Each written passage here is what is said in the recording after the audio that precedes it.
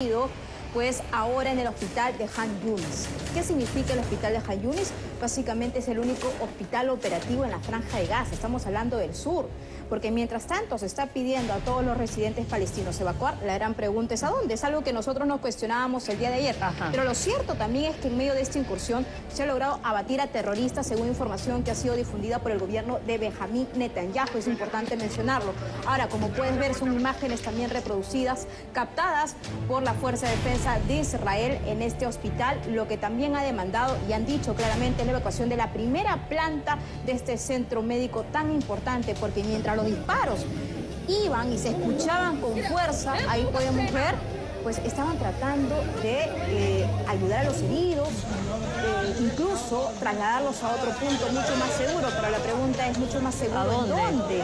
Exactamente, entonces también es una preocupación que se está dando en estos momentos. Ahora, hay información valiosa, sustancial sobre algunos rehenes, porque lo que se está detallando en estos momentos es que algunos de ellos, aún secuestrados, más de 100 por cierto, desde el pasado 7 de octubre, han permanecido en estos hospitales. Entonces, importante mencionar esta incursión que va de la mano también de una estrategia por información de inteligencia que se ha dado y se tiene por parte del gobierno de Benjamín Netanyahu. Como puedes ver, las imágenes son impactantes. Vemos ahí también a los pacientes, familiares de los pacientes tratando de incluso trasladar por sus propios medios a sus familiares, trasladar también a los suyos mientras esta incursión continuaba. Lo que ha dicho la Fuerza de Defensa de Israel que están utilizando una operación quirúrgica.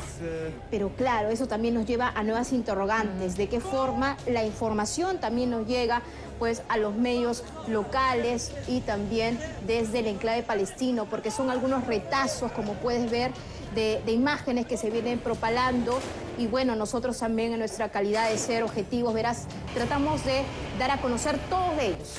Y también está el cuestionamiento de la comunidad internacional de cómo llegar a un cese al fuego. Recordemos lo que ocurrió también en las últimas negociaciones en Qatar, ¿no? lo que se pudo lograr en ese instante para que evidentemente se tenga algunos rehenes de vuelta.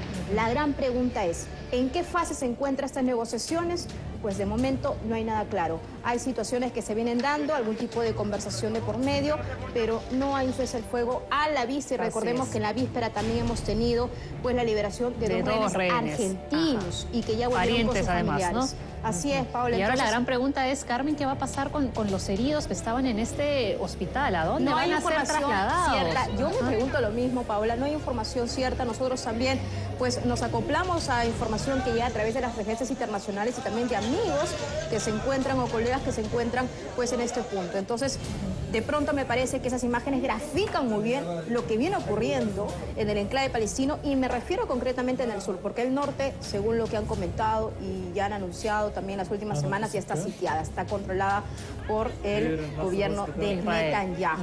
Entonces la pregunta es ¿hasta cuándo? ¿no? Eh, es, es la gran interrogante, pero por otro lado también importante mencionar enfatizar el dolor que tienen las familias israelíes que no tienen a los suyos de vuelta, que han sido secuestrados, masacrados, mutilados, decapitados el pasado 7 de octubre, sobre todo en este kibbutz Nir Oz, en el cual tuve la oportunidad de recorrer y retratar lo dramático que fue para ellos. Tuvieron que agarrarse de una manija del cuarto de seguridad, para Paola, para evitar que el terrorista ingrese. Incluso se ven los impactos de bala alrededor de las paredes, porque como no podían ingresar, porque tenían fuerza tal vez algunas personas para detener el ingreso, ¿qué hicieron? Incineraron sus casas, los quemaron vivos. Es que hay que decir las cosas tal cual.